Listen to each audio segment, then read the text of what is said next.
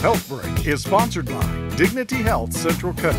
The immediate dangers of vaping continue to make headlines, but research on the long term effects of inhaling a nicotine vapor are still in the early stages. Dr. Zacharia Reagle with Marian Regional Medical Center explains. Vaping has definitely been promoted as being safer than smoking tobacco cigarettes. The reality is we do not know that. It may very well turn out to be that smoking an e-cigarette or vaping is not that different from smoking a tobacco cigarette when it comes to the biochemical effect and therefore damage to the lung tissue, or it may turn out to be that vaping is actually more dangerous. Diseases that we've seen associated with vaping include a pneumonia-like process in which patients experience a fever, oftentimes a cough, sometimes shortness of breath with some chest pains, and abdominal distress, including nausea and vomiting. Some of those patients have required supplemental oxygen. Some of them have even required treatment with a mechanical ventilator or an invasive breathing machine. And not everybody has recovered from this process, so there have been some deaths attributed to this illness. Data from the California Assembly suggest that as many as 20 percent uh, California high schoolers have vaped or are vaping on a regular basis. So this is a problem that is disproportionately affecting our adolescents and young adults. So I think the important take-home message here is that if you're not